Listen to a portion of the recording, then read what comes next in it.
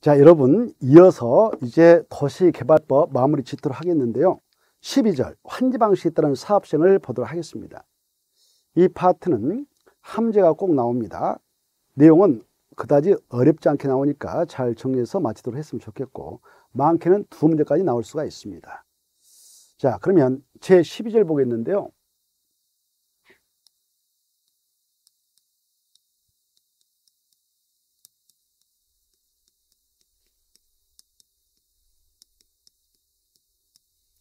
환지 방식 따른 도시발 사업 시행. 환지 방식이라고 하는 것은 이렇게 개발되지 않는 토지에 도시개발구역을 지정하죠.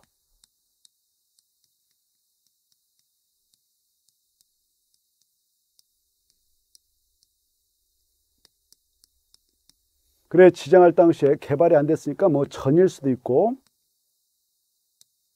답일 수도 있고 임야할 수도 있는 것이죠. 토로도 이렇게 있고요. 등등등 개발되지 않는 땅이 대부를 합시다. 이렇게.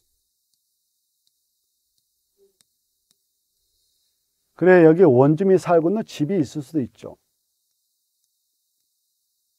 그래 이거 A 거다 뭐 B 거다 뭐 C 거다 등등도 있다 합시다. 뭐 이거 가부 것이다. 어느 것이다. 뭐 T, E, F, G, H 뭐 등등도 있다 합시다.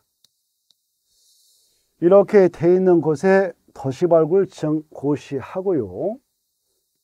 여기에서 환지 방식 가지고 사업한다.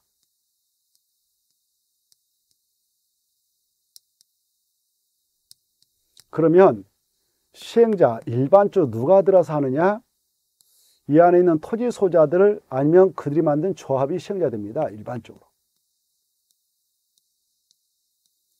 뭐 얘네들이 사업하기 좀 곤란하면 뭐 지방 자치단체가 들어가서 할 수도 있죠. 지자체 등등 할 수 있어요. 아무튼 이때 시행자는 이 사업비용을 자기가 부담해서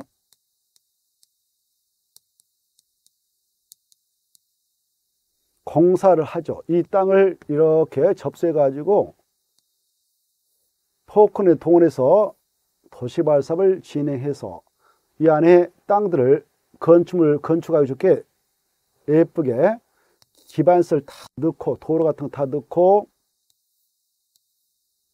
필요하면 공원도 넣고 녹정원도 확보하고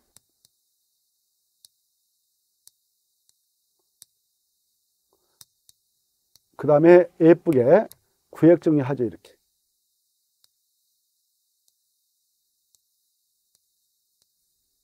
이렇게 이렇게 해서 사업을 끝냈다. 그러면 중검사를 받죠.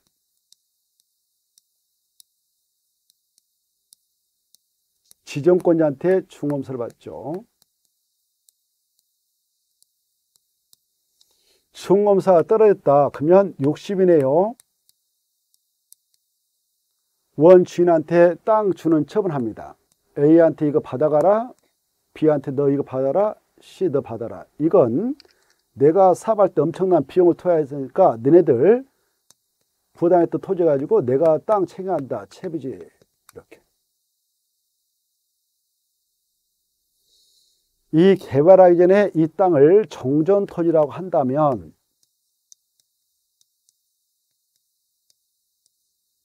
시행자가 개발해서 구역 정리해가지고 예쁘게 다시 이 땅을 새롭게 만들어서 바꿔주죠. 바꿔주로 한 땅지자를 하죠. 환지를 하죠. 이런 환지첨을 해서 주는 겁니다.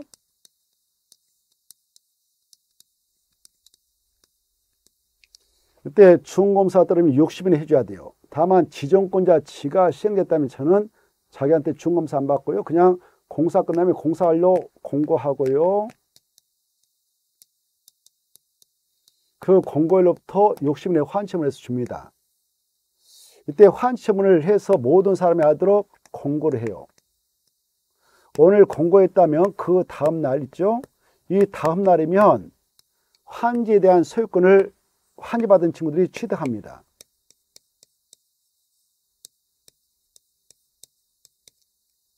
등기는 아직 안 이루어졌습니다. 이때 환지 처분할 때에 때로는 시행자가요, 어떤 자에게 저 A가 이렇게 땅을 가지고 있었는데 개발하기에는 이게 천정부터 했다. 근데 이 땅 받아갈 때, 환지를 받아갈 때, 정전 토지는 이랬는데,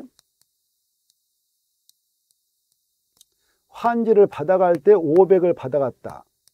500점부터. 원래 천정부터 했는데. 그리고 B가 정전 토지 1500을 가지고 있었는데 500을 받아갔다. B가 C가 개발하기에는 정전 토지 700짜리를 가지고 있었는데 500을 받아갔다. 이렇게 이때 환지 방식을 가지고 사업을 할 때 시행자는요. 환지 이렇게 만들어줄 때게요. 이 토지 면적을 조정할 필요가 있다 그러면 시행자는 직권으로요. 더 늘려서 줄 수 있고 줄여서 줄 수 있고 줄 만큼만 줄 수도 있고 그 토지가 종전 토지가 너무 좁은 토지다 그러면 아예 환지를 정하지 않는 환지 부정도 가능해요.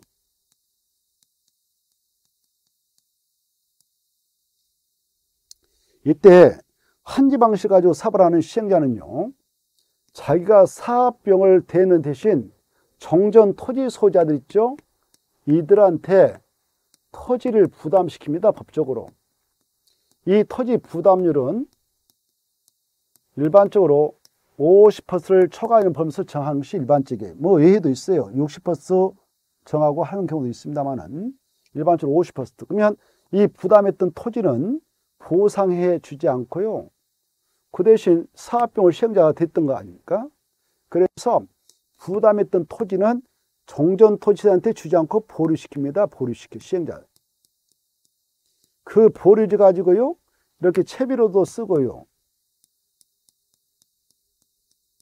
이런 도로, 공원, 이런 녹지 공간을 공공시설 용지로 합니다. 공공시설 용지로 확보해 가지고 쾌적한 도시를 조성하게 되는 거죠. 이래 함으로 토지 부담률이 50% 있다. 그러면 이 A 정전 토지 면적이 1000이었다면 50% 사업장에서 부담하게 됐다면 50 부담하면 500만 받아면 끝이죠. 이런 경우는 이 땅을 준 만큼 줬다 해서 이걸 저고한지를 하고요. 그때는 청상음 계산이 없겠죠. 청상음은 제로가 되겠죠. 이렇게 바로 가장 이산적인 환경이 되겠죠. 근데 B 정전 토지 1,500에 있었다.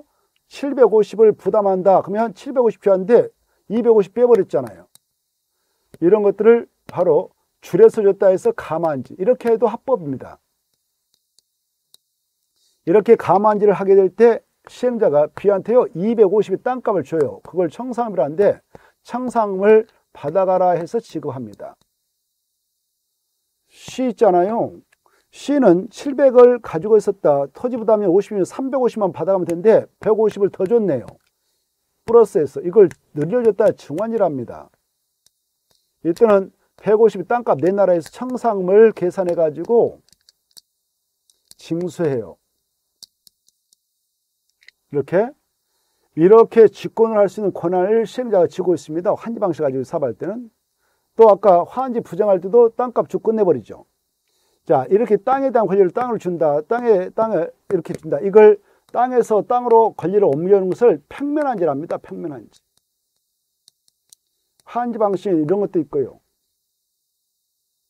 이때 청상음을 이렇게 계산할 때 언제 계산하냐면은 환처분할 때 결정해. 증환지, 감환지 그런 결정할 때게 환처분할 때게 환처분을 할 때게 청상음 액수를 결정합니다. 이 청상음은 언제 그 액수가 법적으로 확정되냐면 환처분 공고일 다음날에 확정돼요. 확정된 청상을 한 번에 징수하기도 하고요. 한 번에 지급하기도 합니다. 이렇게. 청상을 징수하기도 하고 지급하기도 하죠. 한 번에 주고받습니다. 그러나 어, 그 외적으로 이자를 붙여가지고 이자를 붙여서 분할 징수, 분할 지급도 가능하다는 거 아시고 그런데 이 환지 부정을 하게 되는 땅 주인들 있잖아요.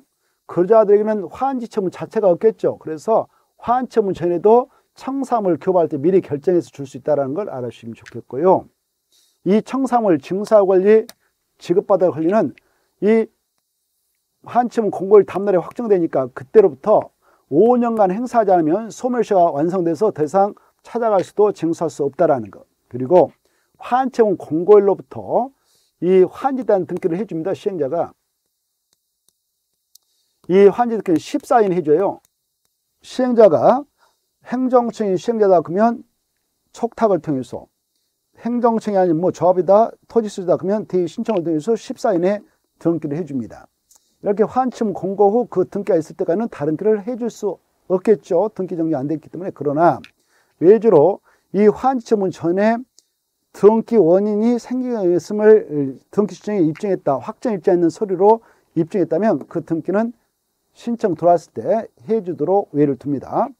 자, 이때 이제 우리가 시험 공부에서 것은 이렇게 돼 있는 땅을 이렇게 환지 처분을 해주고자 하는 시행자는 막 사업 들어가는 게 아니라 미리 환첨을 향하기 위한 구체적인 환지계획을 꼭 작성해요. 이 사업시행자, 이 사업시행자는 사업시행자는 환지계획을 먼저 작성합니다. 반드시 작성해요. 환지 방식일 때는 이 계획을 작성하는데 작성할 때 반드시 포함시킬 내용이 있습니다. 그 내용을 1번부터 박스 안에 6번까지는 꼭 시험 공부서 알아두십시오. 첫째, 저렇게 된 땅 이렇게 반지해 주겠다는 환지 설계를 해야 돼요. 둘째, 필지별로 정확하게 환지명서 정합니다. 이 필지는 A한테 이렇게 환지 베이스를 만들어야 된다 이 말이죠. 필지별로 된 환지명서 꼭 정해야 되고요. 셋째, 이 환지 방식 가지고 사업할 때 여기 있는 토지 소자 중 환지 안 받아가고 그냥 땅값 받아가는 자들도 있습니다. 그 토지 소자 예컨대 여기 이가요. 나 시행자한테 그래요. 나 그냥 돈 받고 땅값 받고 나갈래요 라고 신청한다든가 시행자가 너 돈 받고 나가 되니 그렇게 예해서 돈을 주셨어요. 그래서 그때 돈 받고 나갈 수 있습니다. 그럼 이 사람은 청산해 줘야 할 땅이 되겠죠. 그런 청산 대, 이 필지별로 된 청산 대상 토면서 잡습니다. 또이 F도 그래요. 나도 돈 받고 나가고 싶습니다. 땅값 받고 나가고 싶습니다. 이렇게 신청 동의를 할 수 있어. 근데 F 땅에는 누군가에게 임차권을 설정해 줘가지고 임차권자가 있네요. 아까 이 것은 임차권자 등이 없는 깨끗한 건데 F 것은 임차권자 등이 있는데 자기는 돈 받고 나간대요. 그때는 이 시행자 그 토지 소자의 신청과 동의만 받고 환지 부정을 결정해서는 절대 안 되고 임차권자의 동의까지 꼭 받아내야 환지 지정을 안 해도 됩니까? 바로 이렇게 동의를 받아야 환지 부정이 가능하지 임차권자가 있는 토지의 경우 토지 소자의 신청과 동의만 받아서 환지 부정을 해서는 절대 안 된다는 거. 반드시 누구의 동의도 있어야 되냐? 임차권자의 동의도 있어야 환지 부정이 가능하다. 임차권자가 동의서 안 주면은 환지 지정해 줘 가지고 임차권자가 그 환지 속에 들어가서 잔여기간을 사용수하는데 보호를 해줘야 된다는 것 알아주시고 또 시행자는 이 토지 면적이 콩만하다 이렇게 콩만하다 그러면 토지 면적을 조정할 필요가 있으면 직권으로 환지 부정을 하고 청산 주고 끝내버릴 수 있어. 이런 땅에 대한 내역을 적습니다. 청산 대상 토지 필지별 관리된 청산 대상 토지면서 꼭 정하고요. 네 번째 이렇게 채비명세 보리명서 다 정합니다. 다섯 번째 이 시행자란 자는 일반적으로 토지를 토지로 개발해서 주는데 여기에요. 이 갑이라든가 을, 이 사람들이 그래요. 나 환지받아 주택 같은 거 지고 싶은데 어, 내가 공사하기는 좀 벅차니까 시행자가 공사한 김에 아예 여기다 구봉 건축물인 뭐 열주택이라든가 다세대 쳐가지고 이 건축물 일부인 구분수권하고 건축물이 들어서는 대지 공유지을 묶어서 이걸로 좀 바꿔줬으면 좋겠어요 라고 시행자한테 신청서를 내네요 또 여기에 있는 그 병이라 합시다. 이 토지 소유자도 또 이렇게 신청을 하네. 나도 땅바다 건물 지고 싶은데 건물 내가 지기 좀 그러니까 이렇게 구분 건축물의 일부인 구분 수권하고 땅에다 짐을 줬으면 좋겠어요 라고 신청해요. 그래 알았어. 신청받아서 이렇게 건축물을 하고 땅에 대한 짐을 묶어서 부여할 수 있는데 이걸 뭐라고냐? 땅만 준 게 아니죠. 땅 짓자. 땅만 바꿔주로 한 땅만 준 게 아니라 건물이란 몸체를 세웠네요. 세울 일. 건물이란 몸체를 세웠네요 몸체체. 그래서 환지해 줬네요. 땅하고 묶어서 같이 바꿔줬네. 이걸 입찬이랍니다. 입찬지는 신청을 받아서만 돼 신청은 누가 하느냐 이 도시보유 안에 있는 토지 소자, 건축물 소자가 다 할 수가 있습니다. 다만 입찰지를 너도 나도 막 신청해버리면 혼란스러우니까 우리 법에서는 이 입찰지 대상의 최소 공급 가격이 한 세당 1억이면 1억 대비 최소 공가가 1억으로 확정됐다. 그럼 1억 대비 여기에 종전의 권리가격이 어, 7천만 원 이하밖에 안 된 친구들이 있다. 그네들은 입찰지 대상에서 최소 입찰지 하더라도 받아주지 않는다는 것. 그래 정정 권리가액이 최소 공급 가격의 70% 이하면 입찰지 대상에서 최소 받아주지 않습니다만은 다만 여기에 주택을 소유하고 있는 토지 소유자다. 근데 그자의 정정 권리가액이 3천 원밖에 안 된다. 그러면 최소 공급 가격 대비 30%밖에 안 되지만 주관정을 위해서 주택이 있는 토지 소유자들은 이유 불문하고 그냥 입찰지 신청을 받아주라고 법에 규정되어 있다는 거 알아주시고 아무튼 이렇게 입찰지를 계획하게 되면 그와 관련된 대상 뭐 어쨌다 이런 내용을 꼭 포함하고요. 그리고 입찰지를 이렇게 하게 될 때는 건축계획도 꼭 포함이 된다는 걸 알아주십시오. 그래서 이 환지 방식이라고 하는 거 환지 방식은 환지 방식은 이렇게 토지에서 토지로 주는 평면 한자하고 평면 한자하고 토지를 토지에다 건축물까지 세워서 주는 또 토지 건축물을 가지고 있는 분한테 건축물을 반드시 건축해서 주는 바로 입찬지도 있다. 그래서 입찬지하고 평면한지라는 환지 방식 두 가지가 있구나 이렇게 받으시고 이때 입찬지를 신청할 때는 무허가 건축물을 가지고 있는 소자는 입찬지 자격이 없다는 것도 미리 말씀드립니다. 자, 그래 128페이지 보시면은 환지계획 작성 시 포함 시할 내용 1번부터 6번까지 꼭 받으시고 남은 참고용이고 그리고 환지계획 내용에는 환지 예정지 지정 명세라든가 청산금 결정 명세는 절대 들어가지 않는다. 이 두 가지는 받으시고요. 오른쪽 넘어오셔서 129페이지 보시면 3번, 1번 이 환지격을 작성할 때 기준 해 가지고요. 원칙은 제자리원지, 원한지, 적원지, 평만지가 되도록 일곱 가지를 고려한다. 정전 토지하고 환지의 위치, 지목, 면적, 토질이 중요해요. 옥토 있으면 옥토 주고 암석주면 암석 주야 그 말입니다.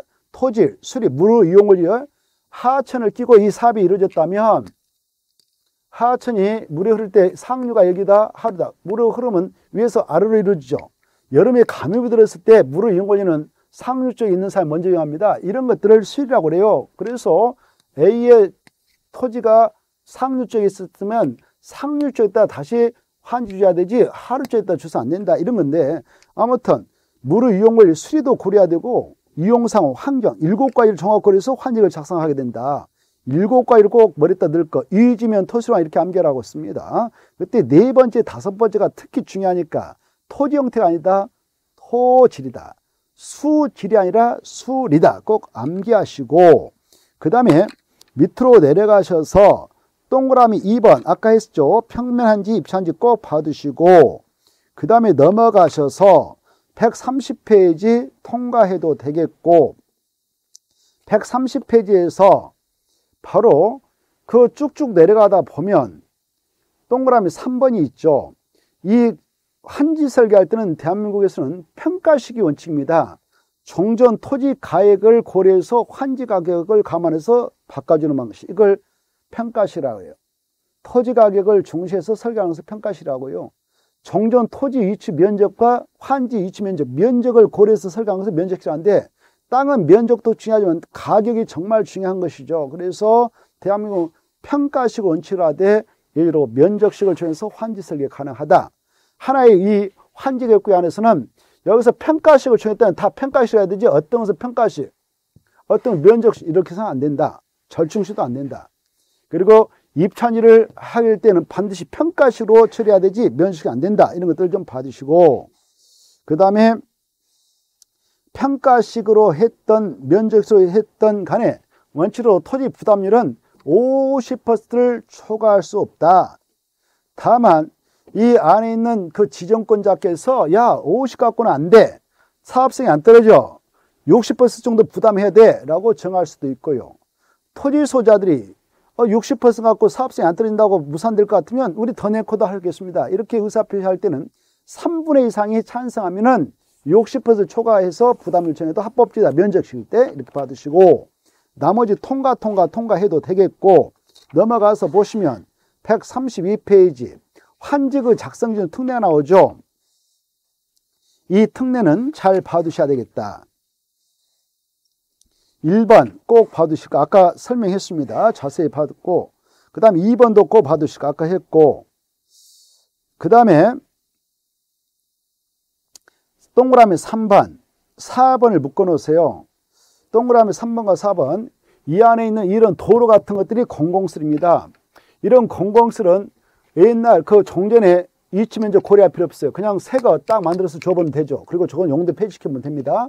이게 국가 소유 토리는 국도에 있다든가 지방 자산 소유 지방도에 있다. 그때 이 새 걸로서 이렇게 국가 거 지가 만들어서 내놨다면 이거 용도 폐지해도 되죠. 이때 용도 폐지했던 이 땅을 국가한테 환지 대상으로 지자한테 환지 대상 하지 말고 이 새 거 만들 때 편입된 땅 준들도 있을 건데 다른 토지당 환지 대상 꼭 해줘야 한다는 거. 그것이 3번과 4번이니까 봐두시기 바라고 5번 이 도시발사업에 필요한 경비에 충당해서 채비를 정하죠. 그리고 그 귀하이라든가 실시계에서 정하는 목적 또 시행규정 정관에서 정하는 목적을 위해서 일정한 용지로 확보하는 거 이런 것들을 다 공공세 용지로 확보해서 땅 주지 않고 보류시키죠. 이런 걸 보류지하는데 이런 보류지 중에서 사업경비에 충당하고자 뺀 땅을 채비한다. 그래서 보류지하고 채비는 뭐가 더 넓은 의미 용어인가? 보류지다. 보류지는 채비 플러스 공공설 용지를 하니까 그거 좀 봐두시고 나머지 통과 6번에 입찰지 아까 자세히 설명했는데 1번 읽어두실 것.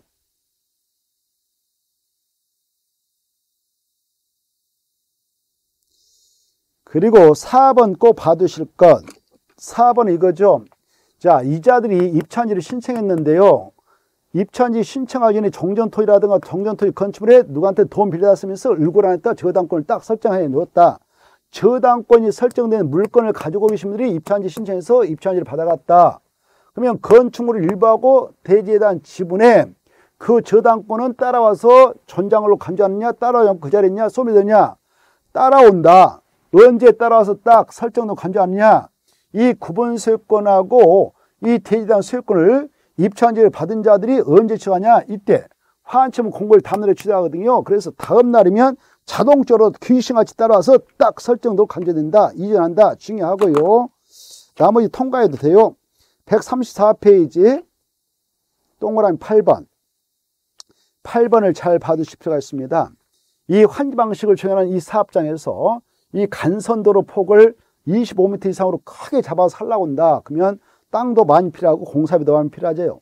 그래서 이때에 이 도로 부지는 이 안에 있는 토지 소자 부담하지만 공사비는 지자체가 보조해서 함께 건설할 수 있다. 이걸 어떻게 주자냐면은 도로 부지는 지방 자치단체가 부담했는데 이렇게 나와요. 그럼 틀리고 도로 부지는 이 안에 있는 토지 소자 부담하고 공사비만 지방 자치단체가 보조해서 함께 건설할 수 있다. 이렇게 봐두시기 바랍니다. 어, 그 다음에 이제 밑으로 내려가셔서 가로 4번.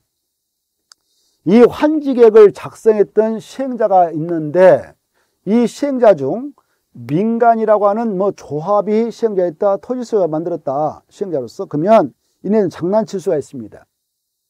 어, 구석재 있는 땅을 가운데다 환지를 배치해 가지고 줄 수도 있고요. 이렇게 장난칠 수 있단 말이에요. 그래서 야 너네들 장난치면 안 되니까 한지각을 작성했다면 관할 시장, 군수, 자치구청장 지금 특도한테 가서 인가받아라 이렇게 하고 있어요. 인가권자 꼭 알아주시고 지정권자 아닙니다. 실식의 인가, 도시발조업 설비인가 이런 인가, 준공, 검사 다 이거 지정권자 행사하는데 이 환직의 인가권자는 지정권자 아니고 관할 시장군수 자치구청장 특별자치도사다. 특별자치도사다. 이거 꼭 구분하십시오. 이때 누가 작성해서 환직을 정하고자 할 때만 인가를 받도록 규제하느냐 행정청의 안시행자, 그러면 행정청의 아닌 시행자 누구냐? 그것다 써놨죠. 예를 들어놨죠. 조와 같은 자. 근데 만약 행정청이 시행자인 시장, 군수, 자치구청장, 뭐 특별자도사가 시행자였다. 그러면 환지가 작성했다면 지네들이 지네들한테 인가받을까 안 받을까? 안 받고 스스로 확정한다. 이렇게. 자, 그 정도 보시고 그 다음에 오른쪽으로 넘어오셔서 135페이지 환지 예정지 지정 나와 있죠. 환지 예정지 지정 이 파트를 보기 전에 저기 137쪽으로 먼저 갑시다. 137쪽 보면 환지 처분의 효과 나옵니다. 이 파트에서는 꼭 시험에 나오니까 잘 봐두셔야 하는데 그 중에서 쭉 내려가면 1번의 원칙, 동그라미 1번, 2번, 3번, 예외, 동그라미 1번, 2번 이걸 꼭 잘 봐두셔야 돼요. 1번 아까 했죠. 환직에서 정해진 환율을 언제 종전토로 간주한다? 환침 공고일 다음날. 그리고 종전토지는 권리가 대부분 환지로 이전됩니다. 환침 공고 다음날. 근데 이 환직에서 정하지 않는 그런 환지를 정하지 않는 정전토지, 환지를 받지 않기로 되어 있는 그 토지에 있는 권리는 깨끗하게 소멸되는데 소멸되는 시점은 환침 공고일이 끝난 때입니다. 그래야 그 다음날 그 환지를 받아간 자들이 환침 공고일 다음날에 깨끗한 소유권을 취득해 가겠죠. 그래서 쓸모없는 권리는 환침 공고일이 끝날 때다 소멸된다. 이거 받으시고. 그 다음에 2번. 이 정전 토지에 있는 권리 중 지역권은요. 도시개발 사업이 다 끝났을 때 소멸되는 게 아니고 그 자리에 그대로 전속해 있는 것입니다. 근데 원칙은 그런데 도시개발 사업으로 도시개발 사업 시행으로 더 이상 행사할 이익이 없은 지역권 있잖아요. 이런 지역권은 쓸모가 없으니까 자동적으로 소멸되는데 소멸되는 시점이 중요해요. 바로 환청 공고일이 끝난 때지 환청 공고일 다음 날이 끝난 때가 아니다. 이게 중요하고 그 다음에 종전 토지의 행정상 재판상 처분으로서 전속하는 처분이 있다. 전속이라는 것은 꼼짝 못하고 그 자리에 딱 붙어있다 이런 의미거든요. 이런 전속한 처분에 대해서는 화한 처분이 영향을 미치지 않기 때문에 환지로 그 처분의 효과가 이전되지 않고 정전 토지에 그대로 있다. 그대로 존속해 있다. 알아주시고 그 다음에 입찰지 효과 중요하지만 아까 했죠. 입찰지를 받았다면 언제 소유권 취하냐? 환침 공고일 다음날. 그때 정전 토지는 저당권도 입찰지 효과가 발생하는 환침 공고일 다음날에 입찰지 대상인 건축물과 대지 공유로 넘어와서 전장을 관장한다. 받으시고. 3번에 1번 2번 아주 중요하죠. 채비는 누가 소유권 취하냐? 시행자 근데 시행자가 환지 예정지 지정해야죠. 팔아먹었다. 여러분이 만약 그거 매입했다. 그러면 매입한 경우는 여러분이 여러 명으로 소유권 이득을 마칠 때 소유권을 취득합니다. 그 다음에 보르지는 이 환직에서 도로는 도로 관청한테 공원은 공원 관청한테 주겠다라고 환직에서 어? 보르지면서를 정확 정하거든요. 그래서 보르지는 환청 공고를 담을에 환직에서 정한 자가 소유권 취하지 시행자가 취당한 절대 아니다. 시행자가 취당하는 토지는 채비다. 꼭 봐두시고 4번 환지 등기 시기 아까 했죠? 환지 등기 시기 해가지고 자 시행자는 환치문 공고가 되면 공고 14내 등기소에 알려가지고 등기 촉탁 신청을 통해서 끝내줘라. 이때 환치문 공고가 된 날부터 그 등가 있을 때까지는 다른 길을 할 수 없지만 여기가 있다. 등기 신청인이 확정 일자가 있는 서류로 환지처분 공고일 전에 등기원이 것임을 증명하면 해준다. 청산금 오른쪽에 가로 1번, 2번 쫙 봐주셔. 결정식이 확정식 아까 했죠? 확정은 환침 공고일 다음날. 그 다음에 청상음 징수 교부가 원칙은 일괄 징수, 일괄 교부하지만 이자를 붙여서 분할 징수, 분할 지급할 수 있다가 중요하다. 소멸시 5년이다. 그 다음에 6번 시행자는 환지 방식이 적용되는 도시바구역의 조성토지 평가를 조성토지 등 가격을 평가할 때는 토지평가 협의회 할 때 협의했다가 2. 결정했다 3. 감정평가 법인인 공인평가 법인을 동원해서 평가를 할 때 평가가 1번입니다. 그래서 평가했다 1. 가장 먼저 평가를 하고 평가된 자료를 바탕으로서 토지평가 협의회 심의다 넣어서 최종 가격을 결정한다. 순서 알아두시고 그 다음에 7번 이 환지, 예정지, 지정처분하든가 환처분이 있게 됨으로써 용유권자의 보호 규정해 가지고요. 여러분이 여기 이렇게 비 땅의 임차권자로서 존재했어요. 그 면적이 1500이었습니다. 근데 환지 끝나고 나서 어, 환지 방식으로 도시발 사업 끝나고 나서 B가 500점터 땅으로서 환지 받았네요. 면적이 확 줄어들었죠. 이때 자기 권리 목적을 달성할 수 없겠다 싶으면 계약 기간 중임에도 불구하고 이 B라는 임차권자는 B의 땅에 있는 임차권자는 바로 권리 조정할 수 있습니다. 임대료을 깎아달라고 할 수도 있고요. 아니면 도저히 권리 목적을 달성할 수 없겠다 싶으면 계약 해지하고 나갈 수 있습니다. 그로 인하여 받은 손실이 있으면 시행자한테 일단 청구를 할 수 있어요. 그게 중요해. 일단 시행자가 대변제하고 그로 인하여 B가 받은 이익이 있다면 B한테 구상할 수가 있다는 것 알아주시기 바랍니다. 아까 이런 의사표시 60인 해야 됩니다. 60인 해야 된다 받으시고 60이 지나면 할 수가 없다는 거. 그리고 그 시행자한테 청구할 수 있다는 거 알아주시고요.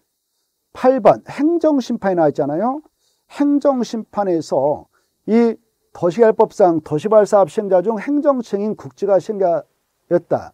그 처분에 불복할 때는 당연히 행정심법 따라 행정심을 제기할 수 있어요. 근데 행정청이 한 시행자의 처분도 행정심을 간주되어서 행정심판 제기하는데 누구한테 제기하면 되냐? 지정권자. 그리고 이 도시발견에 여러 가지 시설, 설치 문자들이 있고 비용도 그 자리에 내는데요. 여기서 전부 환지 방식으로 사업을 하게 됐는데 시행자가 한전했다 전선을 지중설로 요청했다면 그때 전부 환지 방식일 때는 바로 요청했던 자가 3분의 1 내고 공급하는 한전이 3분의 1 내야 된다. 이거 꼭 알아주시고 수용 방식일 때는 반반씩 됩니다. 요청한 자가 2분의 1 그리고 그 공급하는 한전에서 2분의 1. 근데 전부 환지 방식일 때는 여기 주로 토지 수자 맞는 조합 측에서 사업 시행했고 조합원들이 토지소유로서 토지 부담에서 이 채비도 내놨고 공공설 부지인 보류도 내놨죠. 부담이 너무 크니까 그래서 전부 환지 방식으로 사업을 할 때는 바로 어, 그 시행자 측에 3분의 1만 내게 하고 공급하는 한전이 3분의 1을 내게 돼 있다. 이 포인트가 거기 있으니까 꼭 봐두시고요. 그리고 앞으로 가셔서 환지 예정지 지정을 좀 보겠는데요. 135페이지.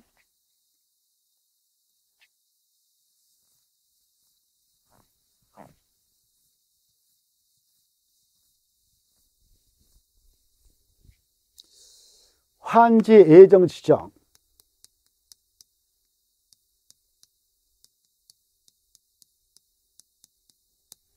예자가 미래자입니다. 이렇게 도시발격이 있다. 여기 정전 토지를 이렇게 논두록으로 되어 있는 농지를 한 필지로서 A가 가지고 있습니다. 이 소유자가 A입니다. A가 있는데 A의 토지 일부에다가 A 친구에게 임차권을 설정해서 임차권자가 있다 합시다. 사용수를 하고 있습니다. 이때 이 사업을 하는 시행자는요.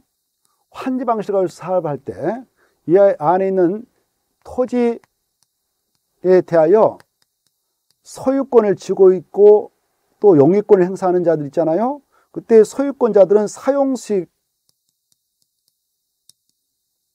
처분 권능 세 가지 다 가지고 있는 사람이 소유권자죠. 그리고 사용식을 하고 있는 용의권자도 있죠.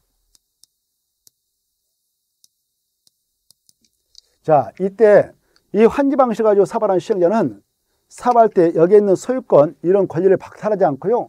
공사 기간 동안만 잠시 사용식을 정지해서 공사를 진행합니다. 이런 사용식을 정지당함으로 말미암아 생존권의 위협을 당할 소지가 있는 자들은 바로 시행자가 임의적으로 여기 안에 도시발교 안에 있는 땅에다가 공사를 하지 않아도 되는 땅이 있다면 그런 땅에다 표시를 해가지고 임시로 가서 사용수만 해라라고 처분을 내릴 수 있어요. 그걸 환지 예정 지칭을 합니다. 환지 예정 지칭을 이 A에게 야 여기 와서 너 잠시 여기 공사 쫙 해야 되니까 바로 여기 와서 사용수만 해라 라고 처분을 내줄 수 있어요. 이걸 환지 예정지 지정 처분을 합니다. 이런 환지 예정 지정은 시행자 꼭 해야 할 의무는 없고 해줄 수도 있고 안 할 수도 있어요. 그리고 여기 B 땅이 있다 그러면 B는 환지 예정 지정을 안 받을 수도 있습니다. 이건 시행자 마음이에요. 의무상 아닙니다. 그래서 거기 보면 환지 예정 지정 의해 가지고요. 그 밑에 밑에 보면은 환지 예정으로 지정을 할수 있다. 이게 하얀 나무 틀리고 시행자는 이 경우 정전 토지에 이렇게 임차권자의 부분이 있다면 환지 예정지 써 있다. 야 A야 니네 땅 환지 예정 여기다 지정할 테니까 가서 여기다 사용해라. 수익해라 이렇게 할 수 있어요. 근데 정전 토지에 임차권자가 있었다면 임차권자의 부분을 여기다라고 아울렛 지정해 줘야 됩니다. 이 땅이 원래 지금 갑오 땅이었습니다. 갑오 땅이었는데 갑오 따라 이렇게 지정을 해줄 수 있습니다. 환지 예정지 지정을 했다면 효과가 있는데요. 그 말씀 드리기 전에 환지 예정지 지정을 하게 될 때는 이 토지 소유자 이쪽 정전 토지 소유자 임차권자 이렇게 이쪽 토지 소유자인 갑동이 이네들한테만 개별적으로 그 효력 발생 시기 위치 면적을 통제해줘요.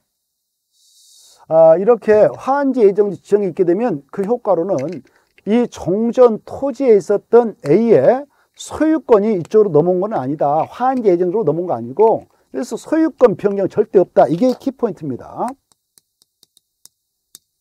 소유권 변경이라든가 이전은 발생하지 않아요. 그래서 이 토지는 계속 A가 사업 끝날 때까지 소유권자 되고 이 토지는 갑이 소유권자 되는 것입니다. 소유권 변경 없고 뭔만 임시로 옮겨주냐? 종전 토지에 있는 사용 수익권만 이쪽으로 이렇게 임시로 이전해 준다.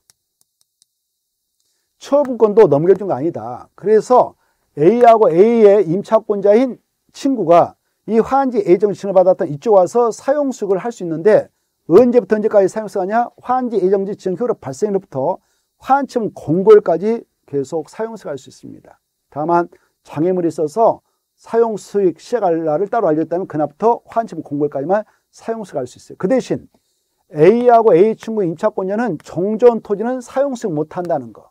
이쪽에 와서만 사용수익 할수 있다는 거. 이때 사용수익을 하고 있는 A하고 A 친구는 갑으로부터 방해를 받지 않습니다. 갑은 자기 토지라도 이 환지 예정 지칭을 받았던 A하고 A 친구의 사용수익을 방해해서는 안 되고 참고 받아들일 의무인 수임화 있습니다.